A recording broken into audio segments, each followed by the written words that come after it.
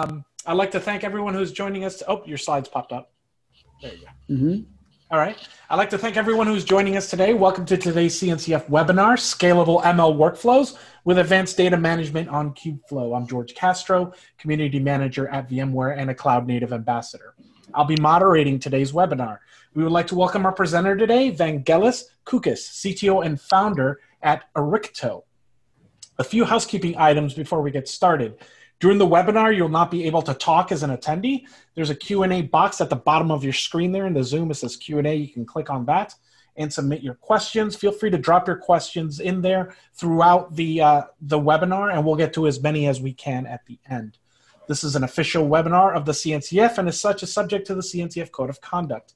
Please do not add anything to the chat or questions that will be in violation of that Code of Conduct. Basically, please be respectful to all your fellow participants and presenters. And I hope we're all ready. So with that, we'll hand it over to Vangelis to kick off today's presentation. Take it away. Thank you, George. Thank you. Uh, today's presentation is about scalable ML workflows with advanced data management on Kubeflow. What does this mean? What's the problem we're going to be talking about? Setting up an ML stack, a full ML pipeline, is very hard and doing it in production is even harder. And then if you want to do multi-cloud, then this is when uh, the difficulty skyrockets. And by multi-cloud, we also mean working on your laptop, working on a local deployment. If someone is working on-prem, in an on-prem Kubernetes cluster, and on the cloud, then it's a multi-cloud deployment. So it seems a common misconception is that to build an ML product, you need to focus on ML code. You need to write your code, write your model, train it, and then you're done. And then there's some uh, little details around actually writing ML code that someone will take care of. But the reality is that it's a DevOps problem. Configuration, data collection, verification, uh, managing resources, managing processes, serving in production, monitoring. These are much more important and take up a much bigger uh, percentage of time compared to actually writing ML. So we need a platform for ML. And this is where Kubeflow comes in. So why Kubeflow? Kubeflow is an open source project started by Google it's an end-to-end solution for building ML uh, platforms, ML workflows on Kubernetes. It aims to containerize uh, workloads and allow users to experiment and explore with state-of-the-art AI. It focuses on easy onboarding. We have uh, contributed uh, code and uh, packaging for Kubeflow called Mini Kubeflow Mini KF to ease the process of onboarding new users. I'm going to be talking more about this in this presentation. And Kubeflow itself has outstanding community and DDC support. It's a vibrant community, lots of commits, lots of new features. Uh, the code is, involved, is uh, evolving very fast. So what is Mini Kubeflow? What is Mini KF? It's a packaging contributed by us, Arrikto, to the Kubeflow community that packages Minikube, Kubeflow, and Rok, our data management platform, in a single VM image, so you can spin it up very quickly on a single node, presumably your laptop or a very big uh, desktop machine you may have. It does require quite a lot of memory because Kubeflow has lots of components. It features the latest Kubeflow version, 0.6.x, currently 0.6.2. It's the uh, we think fastest and easiest way to spin up a full kubeflow deployment and start playing within minutes.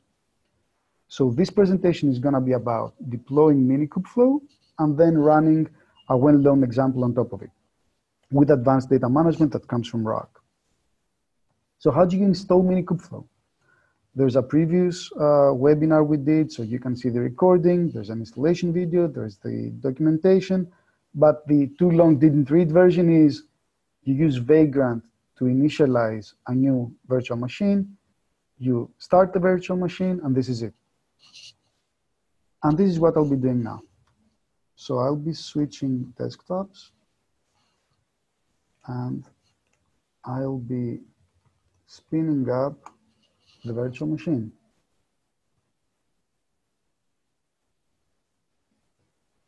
The machine is up. I go to this URL.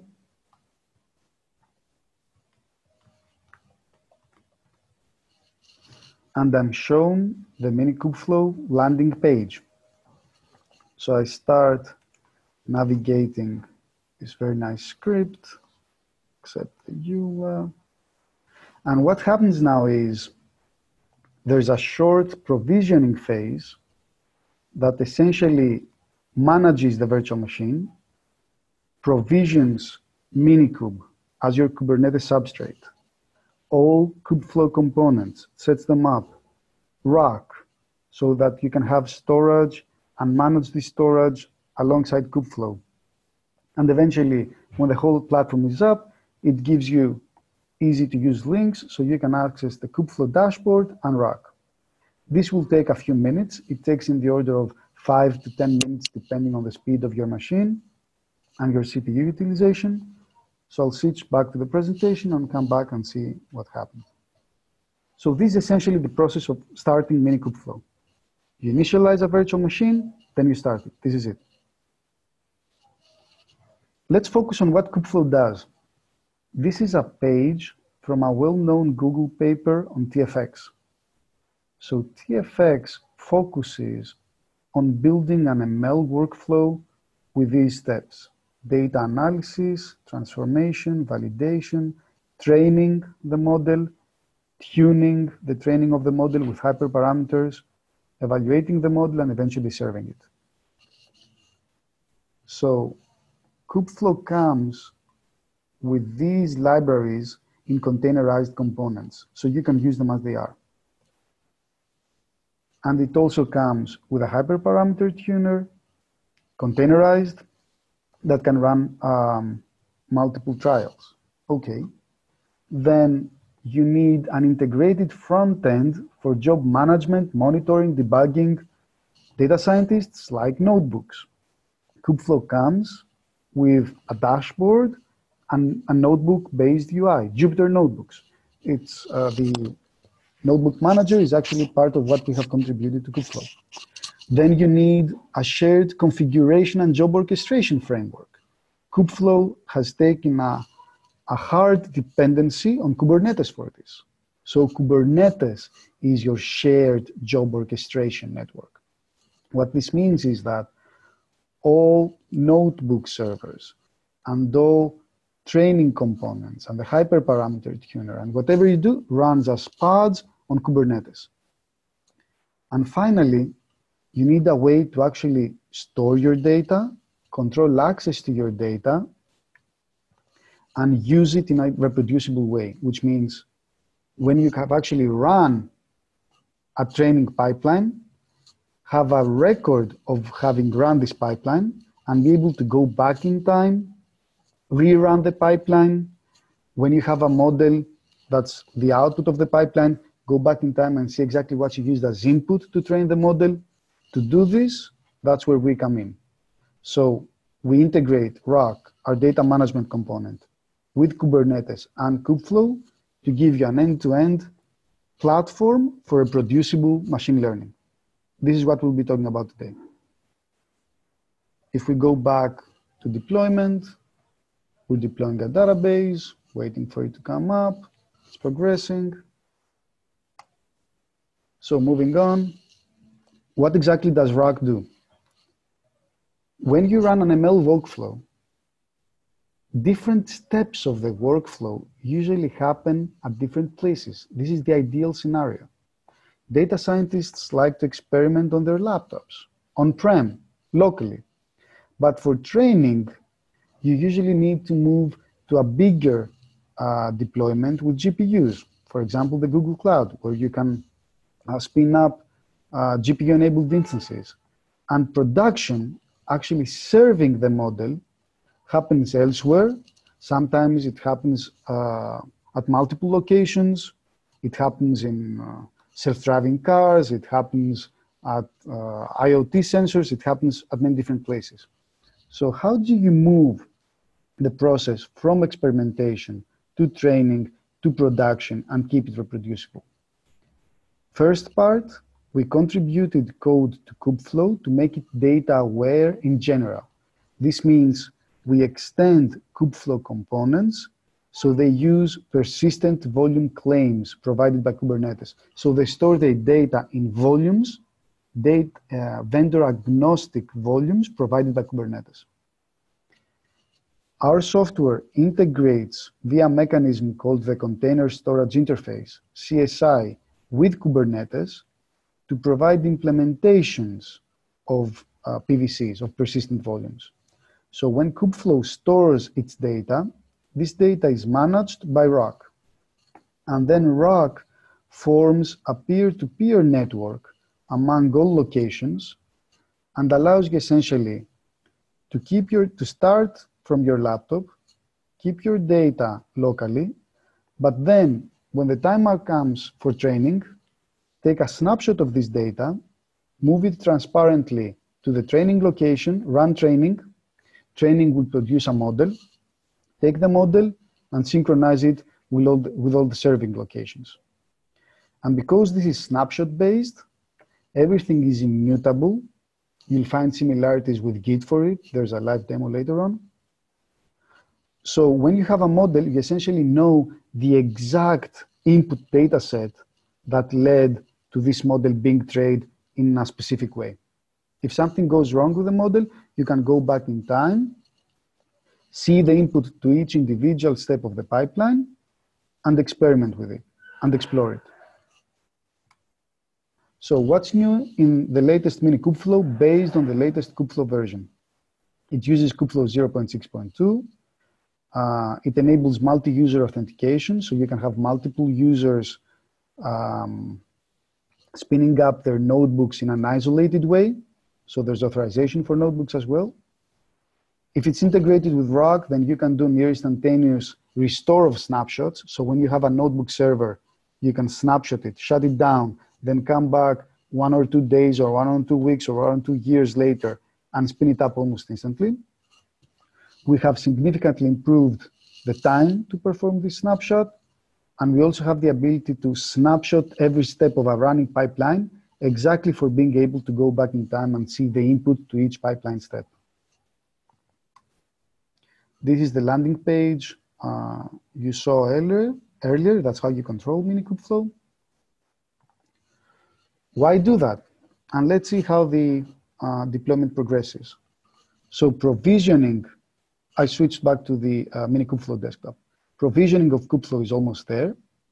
We are now waiting for Kubeflow resources to come up. Rok is already up. When Kubeflow is up and running, this button will also turn green, and then I'll be able to connect. So what I did is, I started the virtual machine, um, initialized provisioning, and I'm waiting for the 39 pods of Kubeflow to come up. Kubeflow does have a lot of components. Okay, so let's give it some time. Starting up. Why did we build Mini Kubeflow? Because people need an easy way for onboarding and people like to experiment locally. So by packaging it for a single node deployment inside a virtual machine, we give a very easy way to spin up Kubeflow and start experimenting with it. But because it's still Kubernetes and it's still Kubeflow, you have the exact same user experience. So you can use the same APIs, you can submit the same Kubernetes resources, you can use notebooks exactly as you should on a cloud provider. And when you're ready, because it's Kubernetes plus Kubeflow, you can move everything to a bigger deployment where, for example, you'll train without having to rewrite things. So our goal was a unified user experience. If you're on the cloud, if you're on-prem, if you're on your laptop, you run Kubernetes, you deploy Kubeflow on top, you deploy Rok for managing your volumes, your storage, and this gives you the ability to use the same APIs and find your data where you need them. The adoption has been going on quite well since we first started this around 7th March. It's reached around uh, 4,500 downloads. Uh, please try it out. Let us know how it goes. Give us feedback. on the uh, Kubeflow Slack. Initialize the machine, start the machine, this is it. The requirements are kind of hefty. You'd need at least 12 gigabytes of RAM to get the virtual machine up and running. Uh, Kubeflow is quite resource hungry. You need a bit more if you want to run uh, ML training, depending on the size of your data sets. And because it's virtual machine based, it will run on Linux, macOS, or Windows in the same way. It uses Vagrant for managing the virtual machine and VirtualBox for actually running the virtual machine. So let's move. I like how this uh, synchronized. So provisioning is complete. Kubeflow is up, Rok is up. I can connect to it. I'm logging into Kubeflow using a standard IP address accessible only by the local host. So I can log into it. This is the authentication part I mentioned. And this is the Kubeflow dashboard. So I'm logged in in my own namespace, kubeflow-user. I'm the owner of this namespace. Mini Kubeflow has a single user. Kubeflow in general, in enterprise deployments, supports uh, more than one users. I can access my pipelines, my notebook servers, Jupyter notebooks, hyperparameter tuning, metadata, and Rok as the snapshot store. So what are we going to use Mini Kubeflow for? We're going to use it to run a live demo of the Chicago taxi cab example. This is a TFX example on-prem on our laptop with Mini Kubeflow. What exactly is the Chicago taxi cab example? The city of Chicago produced a data set of more than 100 million trips. You can download the original data set here. This data set recorded a few, uh, quite a few details about each individual trip, including how much money the trip cost, when it started, where it started, where it ended, how long it was, what means of payment the rider used, and whether there was any tip. And the result of this example is a trained model that can predict whether a random trip will result in a tip that's more or less 20% of the fare. So we get this data set, we feed it to a model and build a classifier that can decide whether a random trip produces a tip that's more or less 20%. This is gonna be the workflow that we'll be demoing. Okay, this is a summary of the input features. Essentially, start and end location, uh, means of payment, and the uh, amount paid. And what is our demo going to be? We'll start from a notebook. We'll use Kubeflow to create this notebook. We'll create a new volume as storage to hold our data. We'll bring in our data set from an external data source. We could download the full data set from the City of Chicago site, or we'll download a subset of this data set so we can run the example uh, to completion from GitHub. Once we've done that, we'll take, this is ingestion of data, we'll take a snapshot of our notebook volume. Why do that? So we have a data commit, so we know exactly where we started from, so we can rerun the pipeline with exactly the same input data. So we know that whatever the result of the pipeline is, this is where it started from. At this point, we can continue working with this volume. We can continue exploring things in the notebook, and the pipeline is not going to be affected because the pipeline will run from this snapshot, will run from a clone of this snapshot. This is going to be the starting point for the pipeline. So then we will run the pipeline, we'll run a series of preprocessing, training, uh, analysis, and eventually serving steps. And we will also snapshot a step in the pipeline, the final step, so we can keep it and explore it by cloning it sometime in the future into a new notebook. So this shows that we can take any individual step of the pipeline, snapshot it, and explore it again using notebooks. And this process can start all over again. I explore the data, make some fixes, ingest new data, adjust my algorithm, adjust parameters, snapshot again, build a new pipeline, start over. And when I have something that works or when I have something that doesn't work, I can go back in time and see exactly where I started from. Essentially, we're using Rok as Git for our data. So this is what we're gonna do step by step. We're gonna be creating a new notebook and adding a new data volume to it. So we move to the Kubeflow dashboard, notebook servers. We can also, I forgot to show you,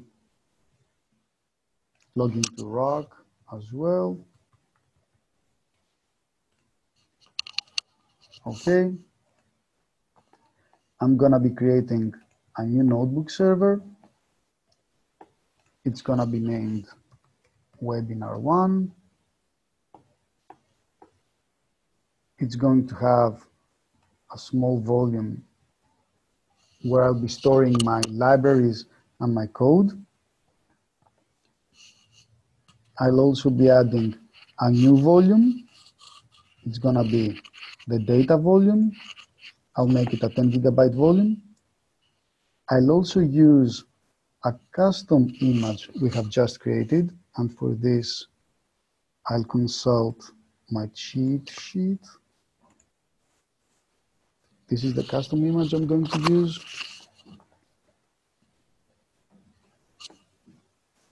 And launch the notebook. So at this point, I'm launching a notebook, a notebook server using Jupyter Notebooks from a custom image. It might take some time, oh, okay, this was fast, to actually download the custom image. The notebook is up. It's running as a pod inside Kubernetes. If I used kubectl, I would be able to see the pod running, and I can connect to it. It's got a few secret volumes, my data, and my workspace. I'm connecting to it. I'll refresh to give it some time to actually come up. It's complaining. It shouldn't be.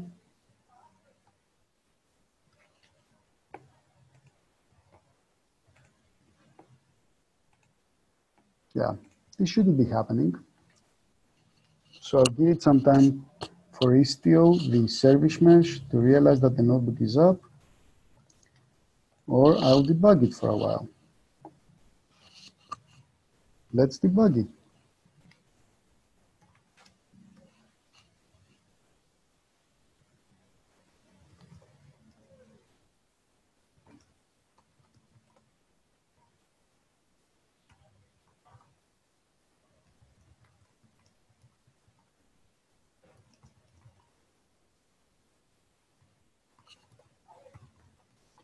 I'm going to my namespace, looking at my pods. Okay, invalid image name. If the image is invalid, then it shouldn't be showing as running.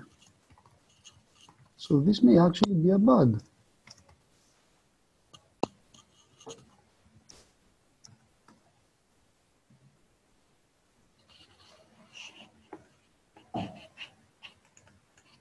Image is shown okay.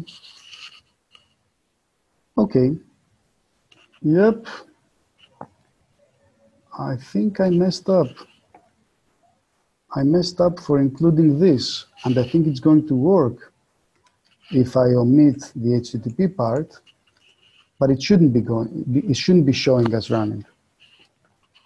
So this is definitely a bug. It shouldn't be running. I'll remove this.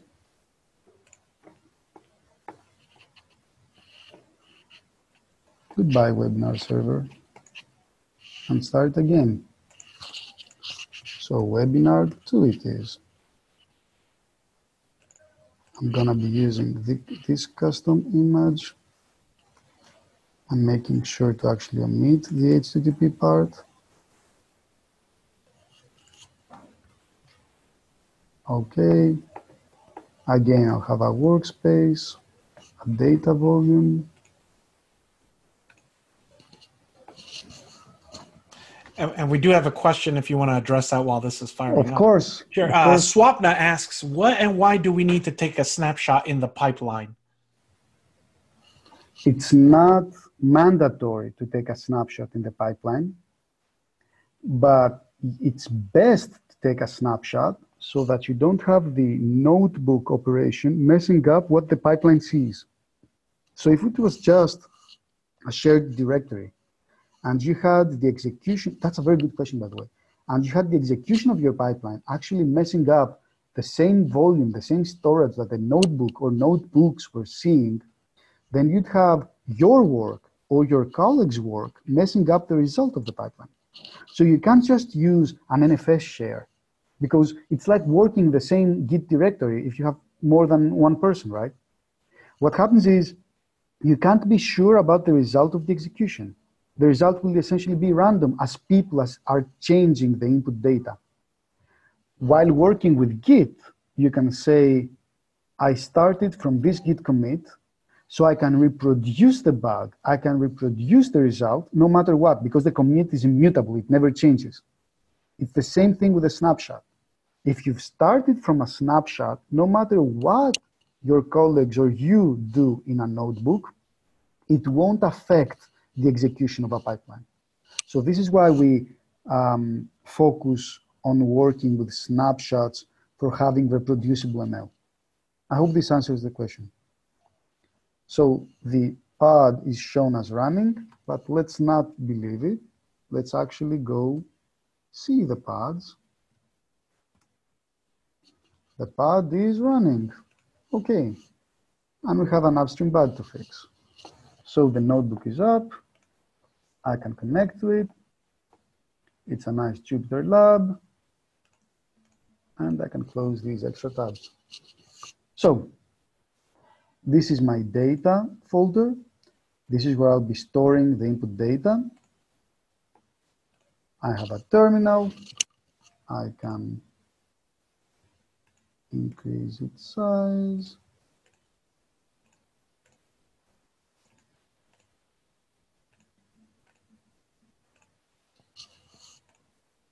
And for the purposes of this demo, what I'm gonna do is use my cheat sheet again to actually download.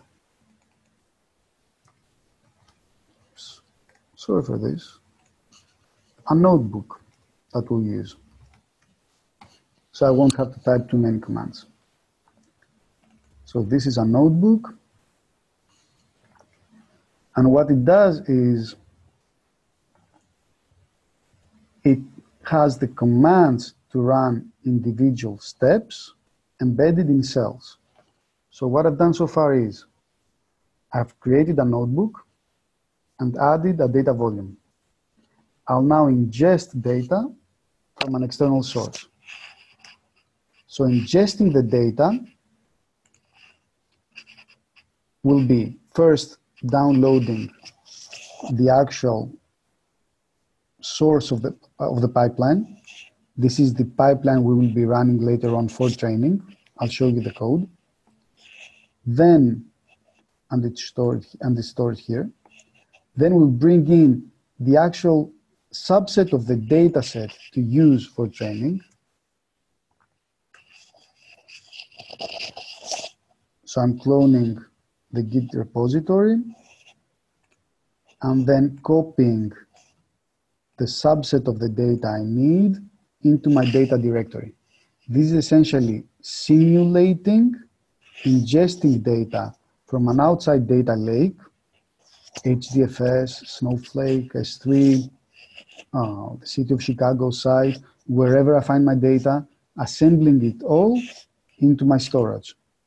And then I'll have a reproducible snapshot of this storage so I can start training. So I copied the data into my data volume here. I can actually see the data. That's the data. And what we'll do now is move back to the presentation. I have ingested the data. I will compile the kubeflow pipeline. I'll show you the code and compile it. This is essentially a description of the steps that are going to take place. And then I'm going to snapshot the notebook. So compiling the pipeline creates a tarball. We're using a newer version of Kubeflow pipelines, which produces a few warnings. And let's take a look at the pipeline itself.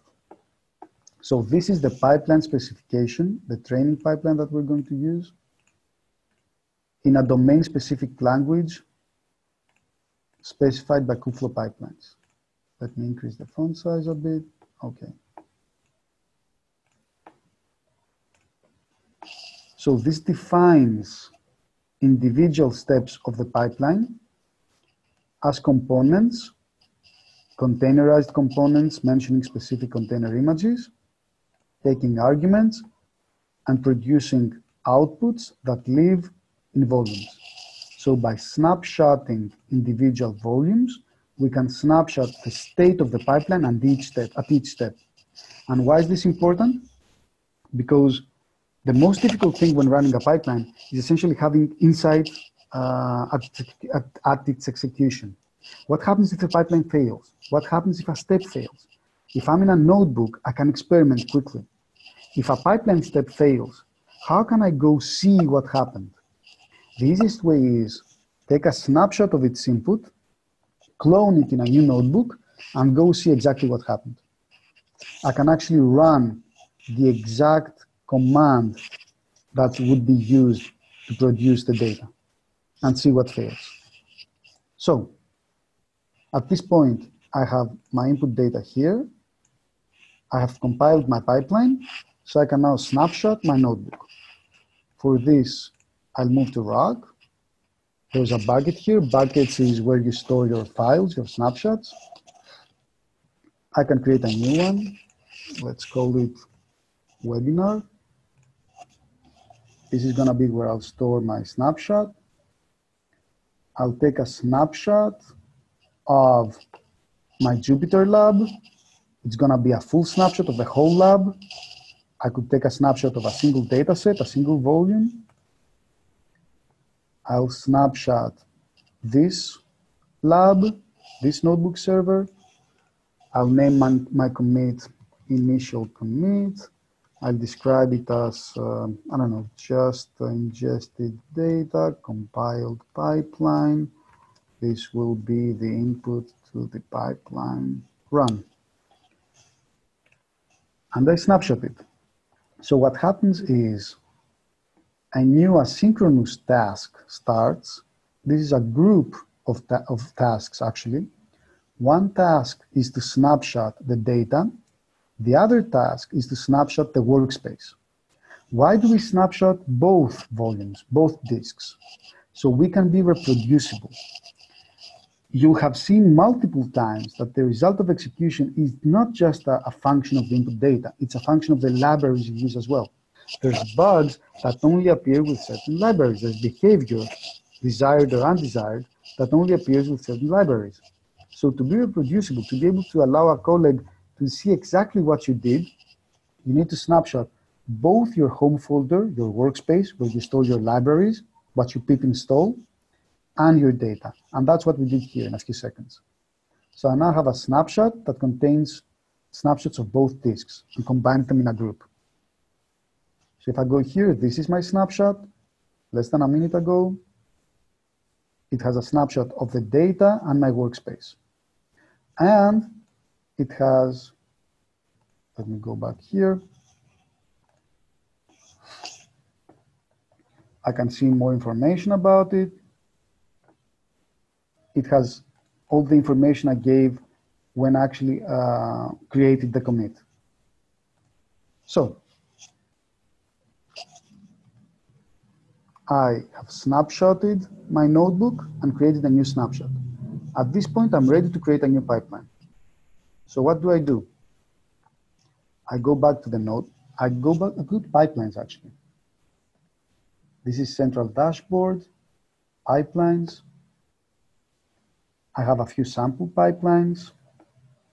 I need to upload the compiled pipeline created here. To upload this, I'll first download it to my box.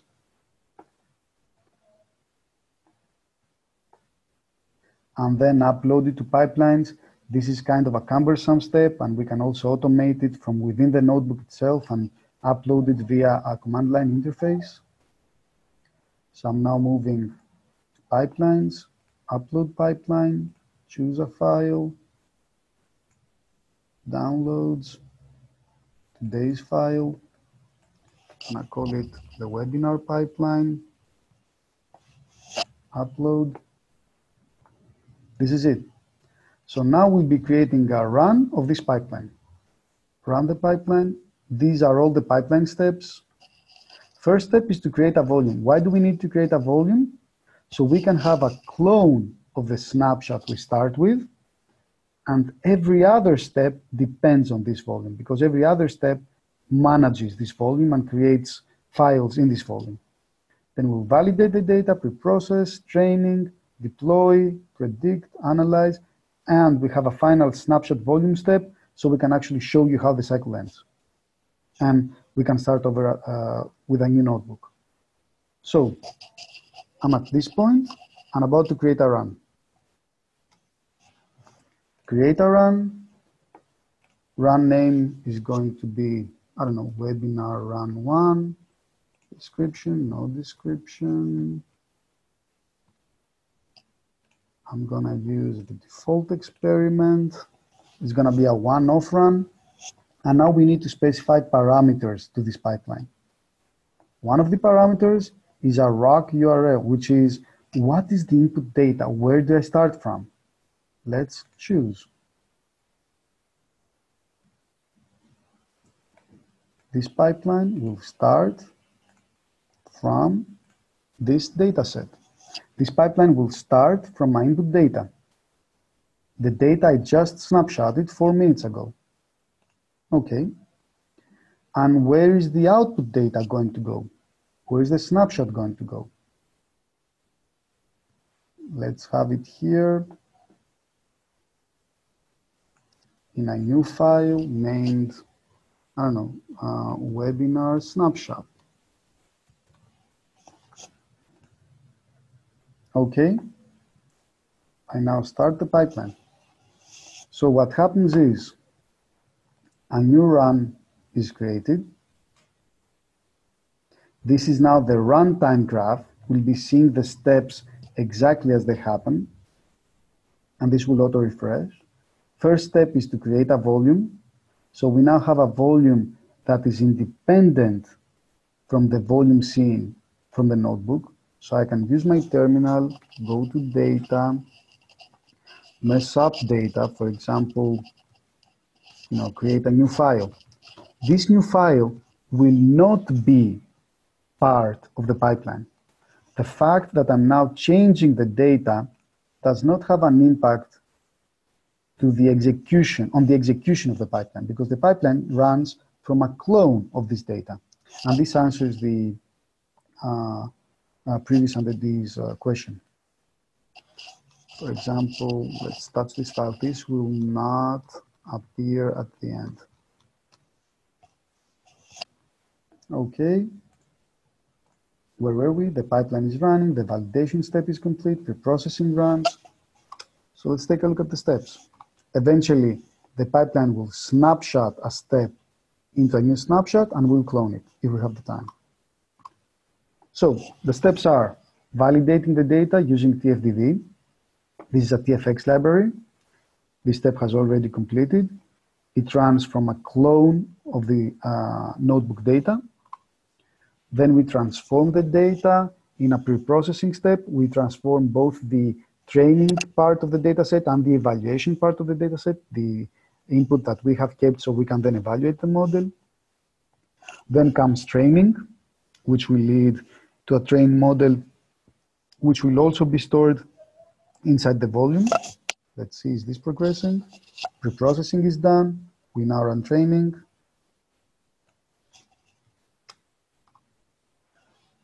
Then comes the TFMA library, which is going to analyze the model and produce artifacts. We'll be seeing these artifacts in the snapshot of the pipeline that's going to be produced eventually. Prediction and serving. So training is happening. And when training is done, we'll have prediction, serving, and we'll end up with a snapshot that we'll use in subsequent steps. So why are we doing this? We extend kubeflow so each component can store data in a vendor agnostic way in persistent volumes in file systems that are mounted. We have extended First, we created a Jupyter Hub-based spawner with persistent volumes for 0.4. We replaced it with the, nat the, native, the native notebook manager that you saw in 0.5. And we have also extended the pipeline's domain-specific language so that it can access persistent volumes and snapshots. If you look at the pipeline, I can actually show this. This is the pipeline, right? We specify that we want the output to be this volume. The volume is, let me find the volume.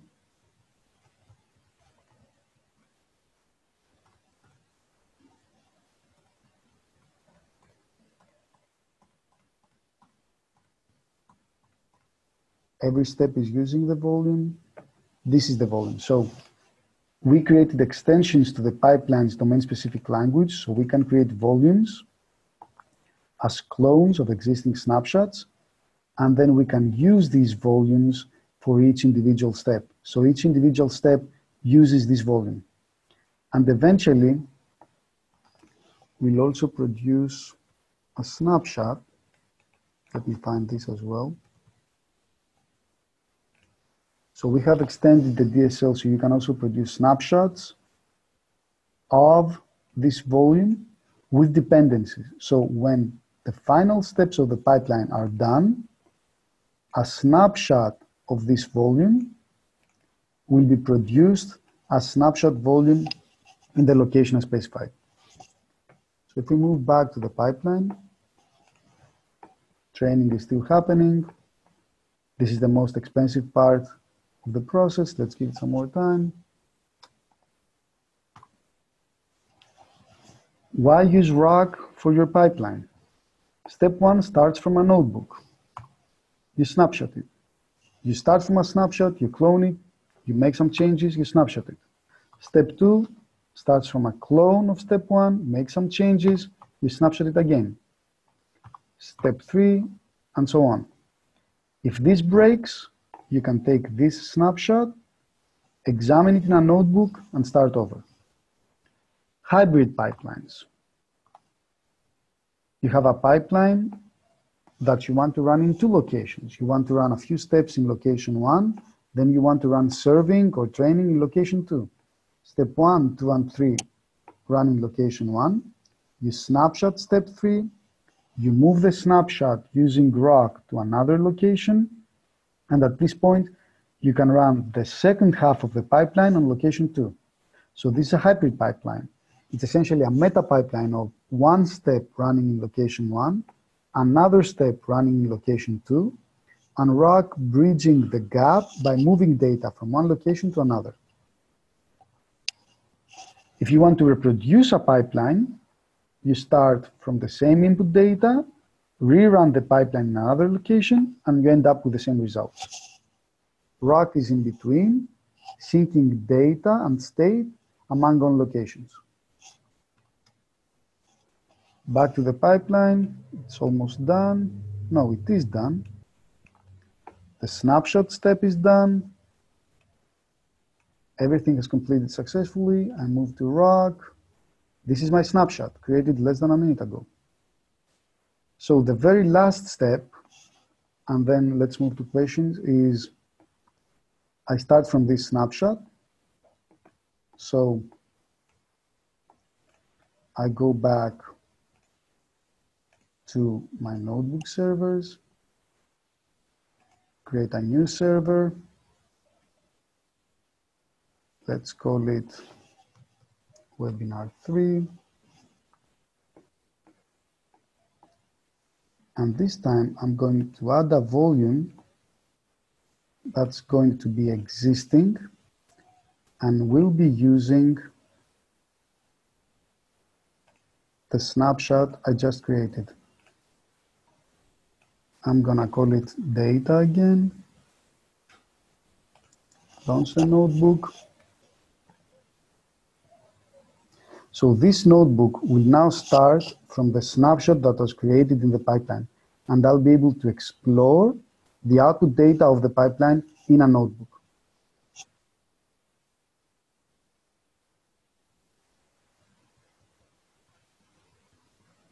Let's give it some more time.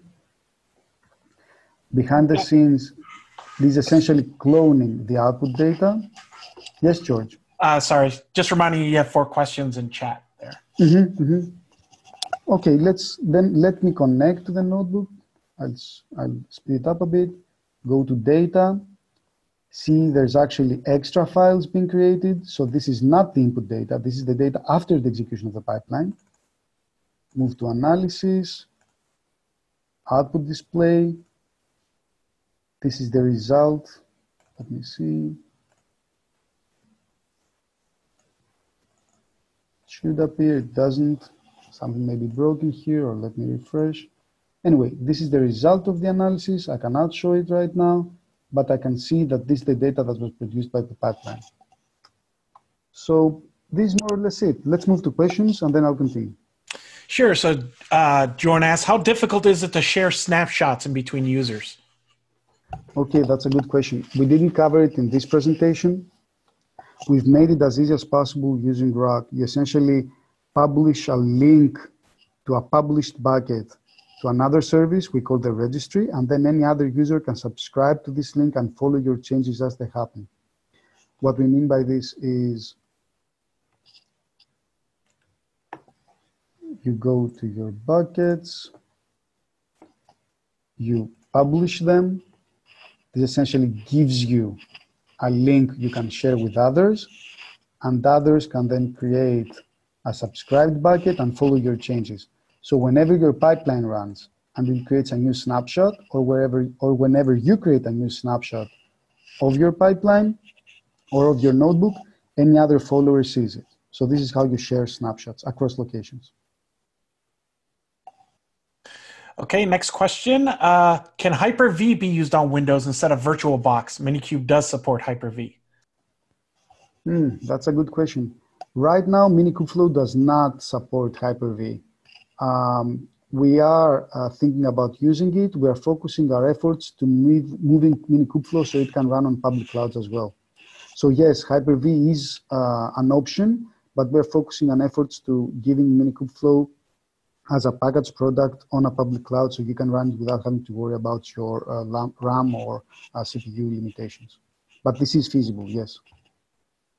Okay, Jorn asks, how enterprise ready is Kubeflow slash Rok stack in regards to identity management and being able to do audits? Oh, that's a good question. Uh, Kubeflow has authentication. Authorization is not there yet it is there for notebooks. It's not there yet for pipelines, for hyperparameter tuning, for metadata handling. Uh, we are contributing actively to multi-user pipelines right now, and we hope to have it as part of the next uh, Kubeflow version. Please come in touch in uh, Kubeflow Slack with us, and we can talk more, and maybe you can also test an initial implementation that we presented today at the community meeting. That's what we're doing right now. To be enterprise ready with full support for authorization, there's quite a few things to be done, but we're moving uh, towards this. Is the volume getting created is a type is of type Cinder or some shared storage so that all stages can access it? Ah, that's a good question. Um, Rok manages whatever primary storage you provide it with. This demo was using local disks. So there is no Cinder or another API underneath. We just gave local disks on each individual node to be managed by Rok. Rok carves individual volumes on said disks, and you can be as fast as possible and have super low latency because of this. You just work over local disks. You can work over local NVMe. That's what we are targeting. And you can still withstand node failure because you can be snapshotting your notebooks once every five minutes, for example.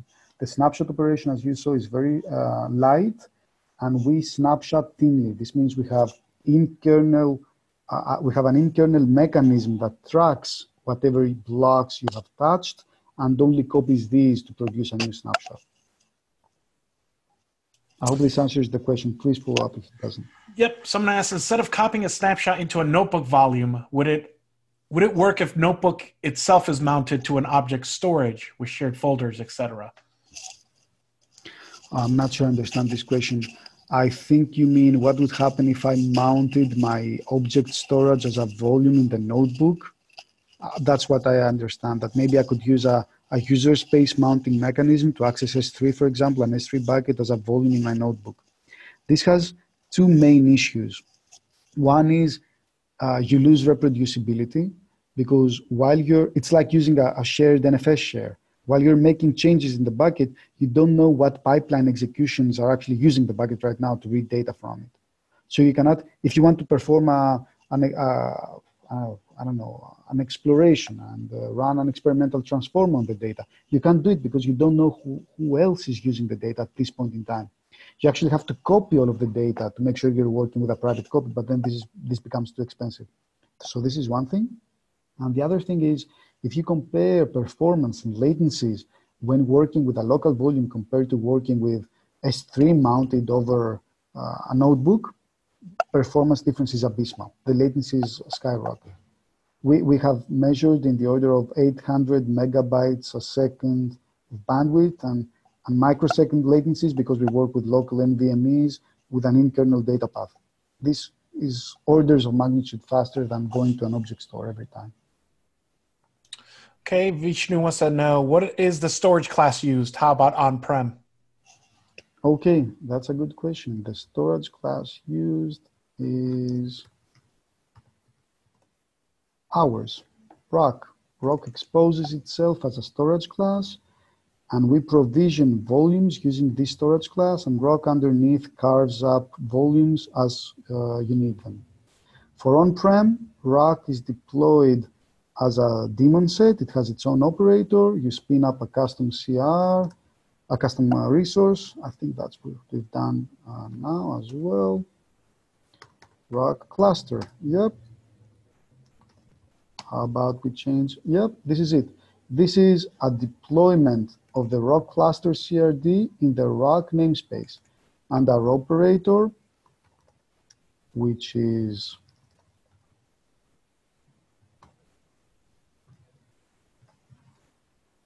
this, will take care of spinning up whatever pods are needed. We spin up a daemon set on each individual node. So for on-prem deployments, we'd spin up a pod running Rok on each individual node, and this would manage your storage. Okay, we're running out of time. Um, since you're in there, does do you support uh, encrypted data at rest? Since you just happen to be in there, we can knock this question out. Yes, yes, yes. Okay, good. Definitely. The internal data path, we can set it up so it also encrypts data trust. Yes. Okay, two more questions. How large? How are large data sets trained? Does the scheduler work like a Spark scheduler? I'm not sure I understand this question. We've, we've tested this with a few hundred gigabytes of data. We just carve up local disk and then we've made lots of uh, um, optimizations to make sure we only touch the changed blocks. So when you have a very big data set and you only change a few parts of it, you can still snapshot it very efficiently. Okay, can this solution work with Spark, Hive, and or Presto, I assume? If yes, could you please elaborate? And that is our last question that we have time for. I, I, I, uh, I assume it's, it can as long as you can mount a persistent volume. As, you, as long as you can access a file system from said jobs, then can be used with these uh, solutions. But please come in touch with us in the Kubeflow Slack and uh, then we can talk more about it because we're interested in your use cases. Please join the Kubeflow Slack. There's a link to join the Kubeflow Slack on kubeflow.org. please follow the link. I have a, actually have a slide about this. So this is how you run KFP on-prem with Minikubeflow and Rok. This is a nice image. This is what we have for the future, GPU support and support for running in public clouds. Please try it out. Join us on the Kubeflow Slack and let us know how it goes. Awesome. Thanks, Vangelis, for a great presentation. Thank you. Um, we are done with the questions. That, and that's all the, que- the questions that we have time for today. Sorry, and thanks for joining us. The webinar recording and slides will be online later on today. Uh, and we're looking forward to seeing you at a future CNCF webinar. And with that, thank you, everybody, and have a nice day. Thank you. Goodbye.